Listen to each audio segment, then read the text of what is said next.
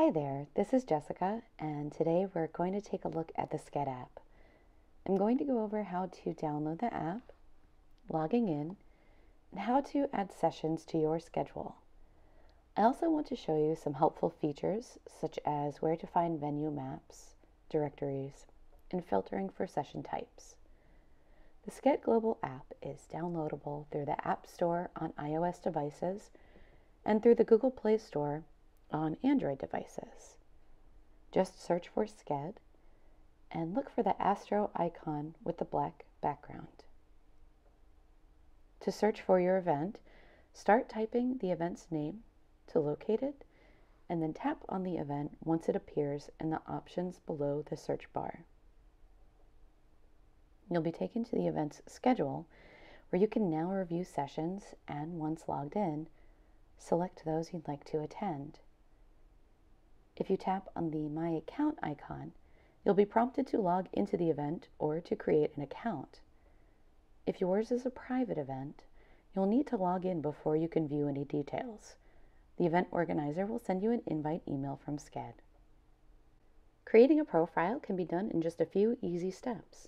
First, launch the Sched app, choose Sign Up from the login options, enter your email address, name, and choose a password for your profile tap Sign Up and you'll be taken to your profile page. If you've already created a Sched profile through our desktop site, you'll be able to log into the app with that same information. Just be sure to tap Login instead of Sign Up. Once you're logged into the app, tap My Account. You can edit your profile and manage your email settings from this section. You can also search for other events, view our support guides, and log out if necessary. We also recommend refreshing your app if you've been offline for a while, just in case any schedule updates may have occurred. Now that you've logged in and have updated your profile, it's time to build out your personal schedule.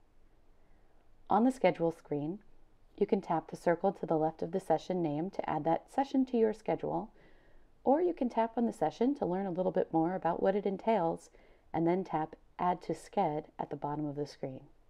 If you need to remove a session, tap the circle to the left of the session name or tap the session and then tap the Remove from Sched button at the bottom of the screen.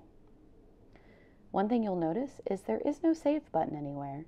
These actions I've mentioned above automatically save sessions onto your schedule.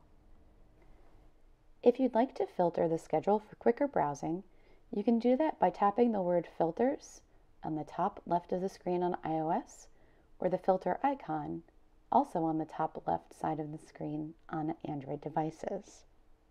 This function helps you quickly sort through session types so that you can easily locate sessions that you'd like to enroll in. If you select Now on the top right of the iOS app or the clock button, also on the top right in the Android app, you'll be taken to the current sessions happening at the event within your exact time. The Directories section will allow you to view profiles of other attendees if their profiles are public, event speakers, and exhibitors and artists if applicable in your event. You can also click on the speaker's profile to view all of the sessions when they're speaking. If the event organizer has uploaded a venue map, you can tap Info to view that at any time. You'll be able to view a session map if available, which is linked to Google Maps, and any additional information that the event organizers feel is important to add to this section, such as travel and lodging details or general event updates. If you run into any trouble while using the app, you can access our attendee support guides by tapping My Account on the app and selecting Get Support. You can also email support at sched.com with details about the issues that you're encountering as well as which version of the app you're using, and we'd be happy to investigate this all further for you. You're always welcome to reach out to us through our Contact Us page on our site as well. No matter the issue, we're always happy to help.